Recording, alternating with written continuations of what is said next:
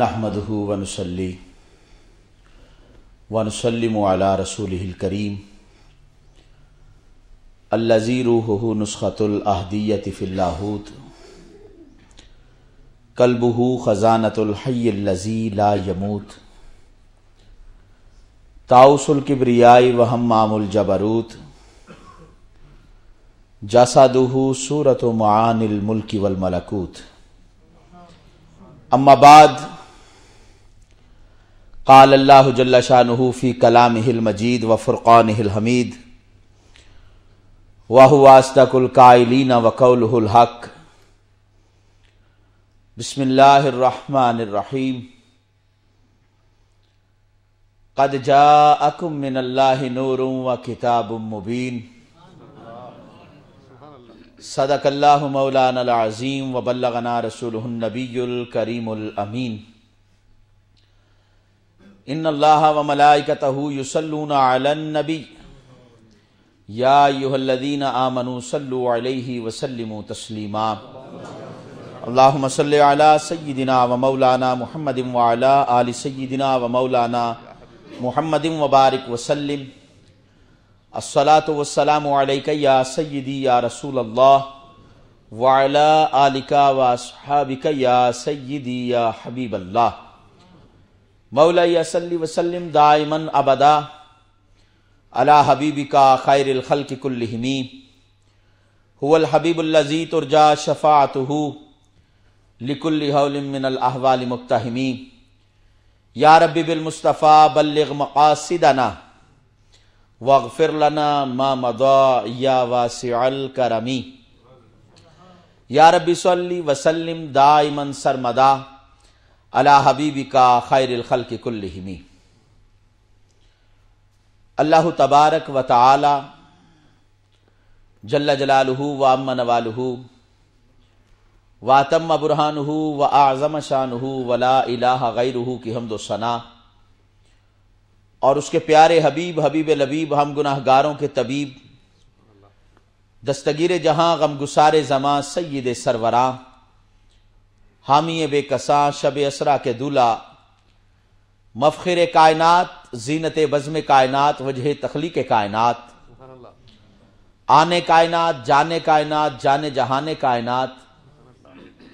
احمد مجتبہ جناب محمد مصطفیٰ۔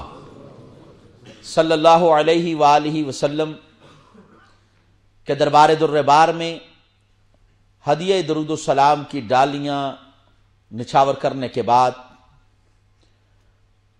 محتشم علماء کرام، نعت خانہ نے شیر لسان اور انتہائی معزز و محترم میرے غیور سنی مسلمان بھائیوں السلام علیکم ورحمۃ اللہ وبرکاتہ۔ اللہ کریم جل جلالہ کا فضل و کرم اور احسان ہے۔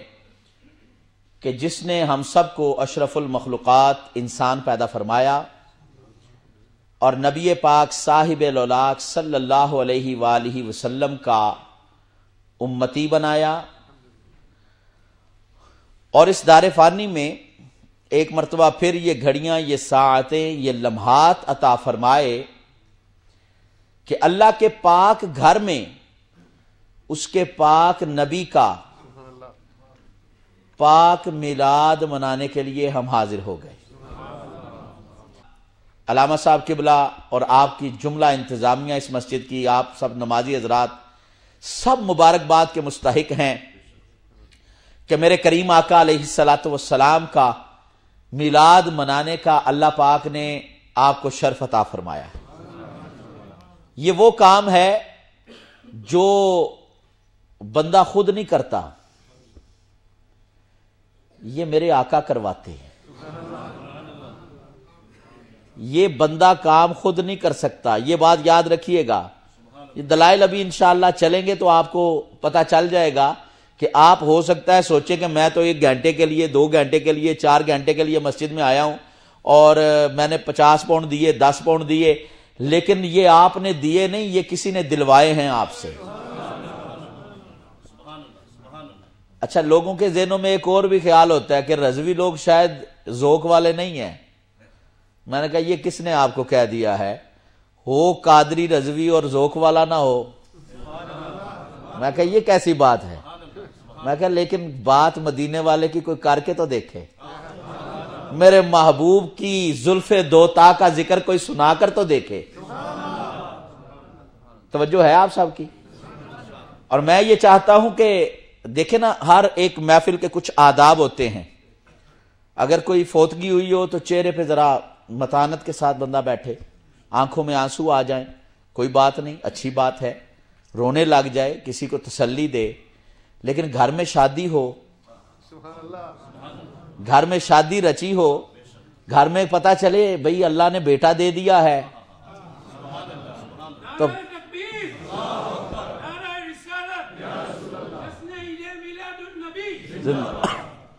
تو پھر چہرے پہ مسکراہٹ ہوتی ہے اور ہمیں تو خوشی ہے سیدہ آمینہ کے لال کی۔ کیونکہ جو ساری خوشیوں کی خوشی ہے، جس خوشی کو میرے رب نے منایا ہے جس خوشی کا اعلان رب نے جبریل سے کروایا۔ میں قربان جاؤں، یہ حدیث آپ نے بارہا سنی ہے۔ اللہ نے کہا، جبریل جاؤ، تین جھنڈے لے جاؤ۔ ایک مشرق میں لگاؤ، ایک مغرب میں لگاؤ، ایک کعبے کی چھت پہ لگاؤ۔ یا اللہ، یہ اتنا اہتمام کیوں کروا رہا ہے؟ اللہ نے کہا، تم نے چھوٹی چھوٹی جھنڈیاں لگانی ہے کوئی اعتراض تمہاری جھنڈیوں پہ نہ کرے۔ کیوں؟ تم تو جھنڈیاں لگا رہے ہو۔ تمہارے جھنڈے بھی چھوٹے ہیں۔ ذرا سوچو تو صحیح، جس جھنڈے کو چھ سو پروں والا جبریل لے کے آ رہا ہے۔ وہ جھنڈا کتنا بڑا ہوگا؟ فرمایا میں اپنے جبریل سے مشرق و مغرب اور کعبے کی چھت پر جو تمہارا قبلہ بننا ہے، جو کعبہ بنے گا مسلمانوں کا، فرمایا میں اس کی چھت پہ یہ نبی پاک کی آمد کا جھنڈا لگوا کر پوری دنیا کے لوگوں کو یہ بتانا چاہتا ہوں لوگوں یہ جشن تو اللہ، میں تمہارا خالق ہو کر خود منا رہا ہوں۔ تم میری مخلوق ہو کر میرے محبوب کا جشن ضرور بنانا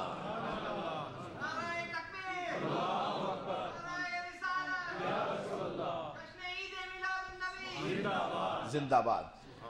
تو بات یہ ہے، یہ جشن کا سما ہے اور یہ عید کا سما ہے۔ اور میری کوشش ہوگی، جہاں آپ کو محبت و عشق کی باتیں کروں، وہاں پر، چونکہ بات یہ ہے، جس کارواں سے ہمارا تعلق ہے اس کو ایک عادت ہے کہ باطل جب جو سوال کرے تو اس کا جواب ضرور دینا ہے۔ تو جشن عید میلاد النبی کو دیکھ کر لوگ کہتے ہیں یہ لفظ عید کیوں لگایا تم نے ساتھ؟ عید اسلام میں دو ہیں یہ تم لوگوں نے تیسری عید کہاں سے نکال لی؟ جزاک اللہ۔ یہ تیسری عید؟ پیار سے بولیں گے؟ سبحان اللہ۔ میں چاہتا ہوں کہ عشق کی باتیں بھی ہوں۔ اور تھوڑی سی ذرا اپنے عقیدے اور مسلک کے ڈیفینڈ کرنے کی بھی باتیں ہوں نا۔ اللہ اکبر۔ یہ عید کیوں کہتے ہو؟ یہ تیسری عید کہاں سے آئی؟ اسلام میں دو عیدیں ہیں۔ میں نے کہا یہ تمہارا دعوی غلط ہے۔ نوجوانوں، توجہ کے ساتھ۔ جو یہ بات کہے کہ اسلام میں صرف دو عیدیں ہیں، وہ جاہل ہے۔ توجہ ہے آپ کی؟ آپ کہیں گے جی ان کا مولوی ہے، میں کہا پھر بھی جاہل ہے۔ اور نیرا جاہل نہیں اج حل ہے۔ آپ کہیں گے وہ کیسے؟ میں نے کہا حدیث مبارکہ ہے۔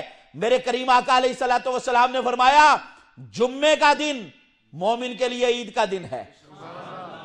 جمعہ المبارک کا دن مومن کے لیے عید کا دن ہے۔ آپ کہیں گے اچھا جمعے کا دن مومن کے لیے عید کا دن ہے، میں نے کہا مولوی صاحب سے پوچھو نا جو اعتراض کرتے ہیں۔ یہ جمعے کا دن عید کا دن ہے کہ نہیں ہے؟ کہنے لگے ہاں جمعے کا دن عید ہے۔ میں نے کہا، آپ نے کہا تھا دو عیدیں ہیں۔ سال میں کتنے جمعے آئے؟ Fifty two. سال میں ففٹی ٹو جمعے، یہ بھی عیدیں۔ میں نے کہا، تجھے تو عید میلاد النبی کا ایک دن نہیں عزم ہو رہا۔ تجھے تو ایک دن نہیں عزم ہو رہا اور تو احمد رضا کے غلاموں کو جانتا نہیں ہے۔ ابھی ففٹی ٹو عیدیں یہ۔ اور علی پاک سے کسی نے پوچھا، آج عید کا دن ہے، آپ نے لباس کوئی ذرا نیا نہیں پہنا؟ کہنے لگے، ہماری ہر روز عید ہوتی ہے۔ انہوں نے کہا، وہ کیسے؟ پوچھنے والا کہتا ہے، وہ کیسے؟ آپ فرماتے ہیں، میرے نبی نے فرمایا، جس دن بندہ مومن گناہوں سے بچ جائے، وہ اس کے لیے عید کا دن ہوتا ہے۔ سبحان اللہ۔ ہے؟ میں نے کہا اسلام کا پیغام تو نے پڑھا نہیں ہے عید الفطر بھی ہے عید الاضحیٰ بھی ہے۔ ہر جمعہ مومن کے لیے عید کا دن ہے۔ اور یہ سارا کچھ جس عید کے صدقے ملا یہ سارا کچھ جس عید کے صدقے ملا کہنے لگا نہیں۔ لفظ عید تو نہ نہ لگاؤ۔ عید ہے پر عید لگاؤ نا میں نے کہا اچھا آپ قرآن پڑھتے ہیں۔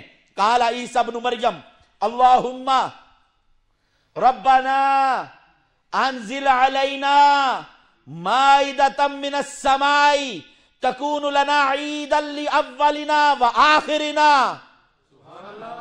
وآیتا منک وارزقنا وانت خیر الرازقین اہل سنت، مجھے پتا ہے اشعار سن کے آپ بڑا پیار سے سبحان اللہ کہتے ہو، پر آج بتا دو کہ ہم قرآن سن کے بھی سبحان اللہ کہتے ہیں۔